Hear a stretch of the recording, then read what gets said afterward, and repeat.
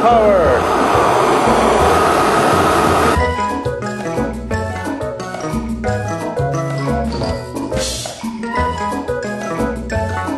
Greetings, friends! I have a terrible confession to make.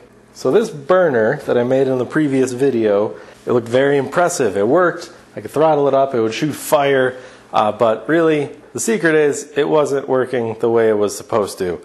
Uh, big blue flame, oh yeah, that's good. We're supposed to get big blue flame, but it was burning inside, inside the flame. Like the fire was starting like here, and you could even see that in the video. So this part was getting pretty hot nice and toasty and it was making all kinds of racket and you couldn't get the nice defined cone shapes so uh, how about we fix that to remind you how this works the propane goes through here there's a hole drilled in this pipe very specifically pointed right down it passes by these holes sucks air in through them mixes them in the tube and it's supposed to burn out here uh, and you might see these holes look slightly different from before you join me now next to a child's dry erase board here's the issue that doesn't dry erase for crap.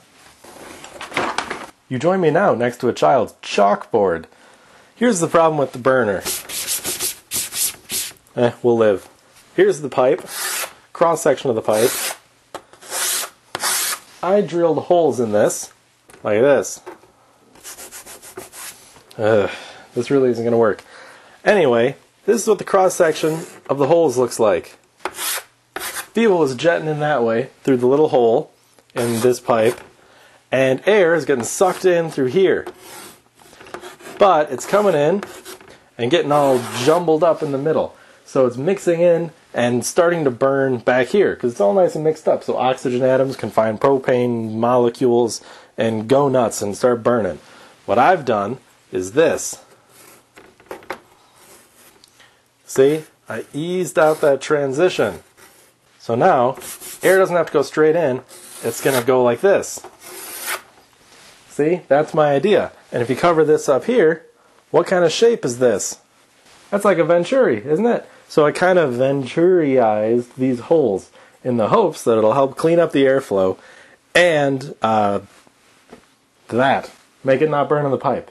You can see I did the inside holes as well. Uh, that was an attempt to smooth out and improve airflow. Okay, let's see if that fixed it. I should probably mention at this point, don't play with fire. And in fact, you probably shouldn't be messing with propane at all. Uh, and if you do, especially don't do it inside a garage. That's why you can't see, but the garage door is actually open, so I have ventilation.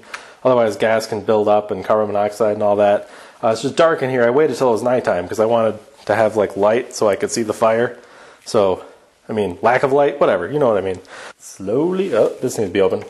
Slowly open the regulator. There we go. Okay, you see the problem? It's burning inside the tubes there. That's not supposed to be lit up. Also, that's a very rich looking flame, a lot of yellow. So I'm going to crank it up, see if I can get the flame pushed out.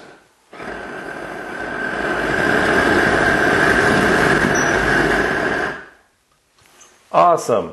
It appears those hole changes made zero difference.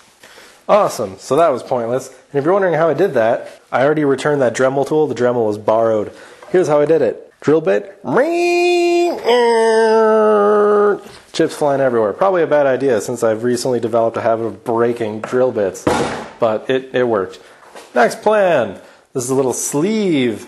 One of the uh, things I read online by other people who had these burners said once you get the flame out here, you get the flame pushed to the end, it will stay there. So I've developed this. I have an idea.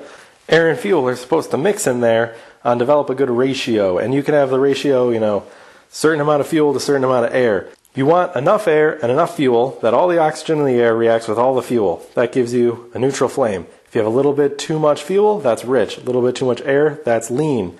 You really don't want lean because then there's more oxygen in the mix and that can really mess up your molten metal. So we kind of want neutral, maybe air on the side of rich, if possible, but we really don't want it burning inside the tube at all. Possible this could give us a little bit of both. This is just cut from a piece of dryer vent, 4 inch aluminum dryer vent sheet. It's very thin, it's just temporary. Uh, if this works, I'll make probably one out of steel. This aluminum one might just melt on me. The idea here is if I cover up all the holes, Once I get it lit, there will be no air in the tube. The air there there won't be enough air to react with the fuel. It will have to blow the fuel out the end before it starts burning.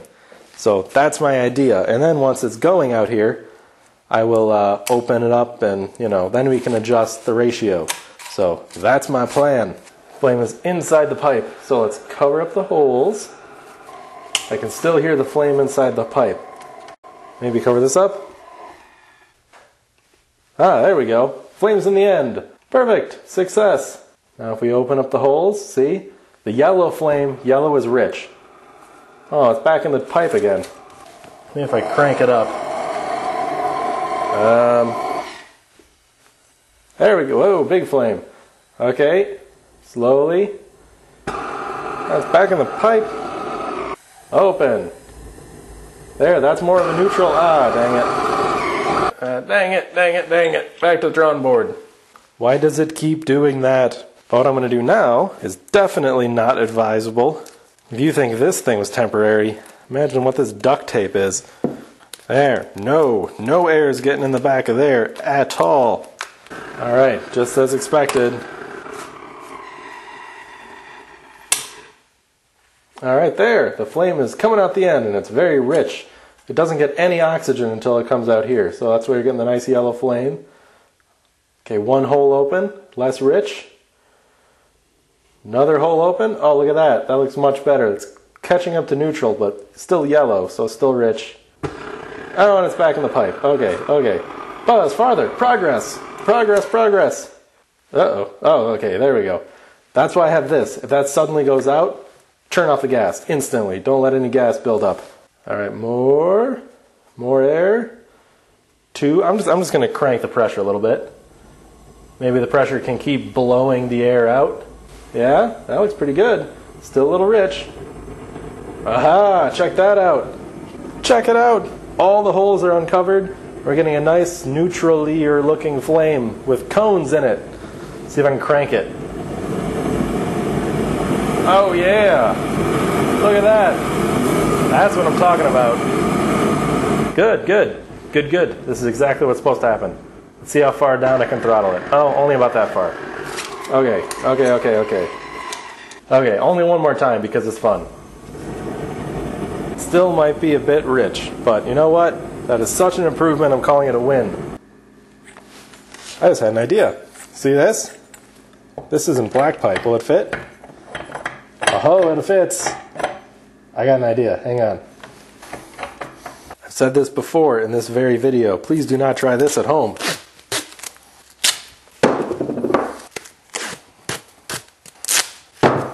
Behold, the upwind forced air hybrid burner. This is going to be great, or terrible, or both. It can be two things. I feel like I need music for this. Are there, is there any epic music that's copyright free? I am definitely going to look for it. Okay, okay, okay, okay. Let's start at normal. Okay, there we go. We're, we're going, we're going. Okay, we're going, we're going. Come on, shoot out the end. I can't get it to convert. Can't get it to shoot out the end. Screw it, let her rip.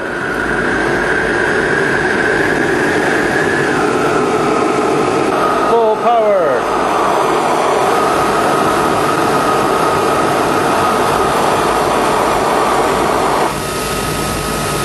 Oh, it is. It's in, it's pushed to the flare now. Full power and full. Oh, that's going rich. Turn back the fuel. All right, we're back to normal. Now we're going lean. Okay, enough of that. My aluminum thing didn't melt. Hooray! Well, that was pretty crazy. Suffice it to say, I won't be doing that.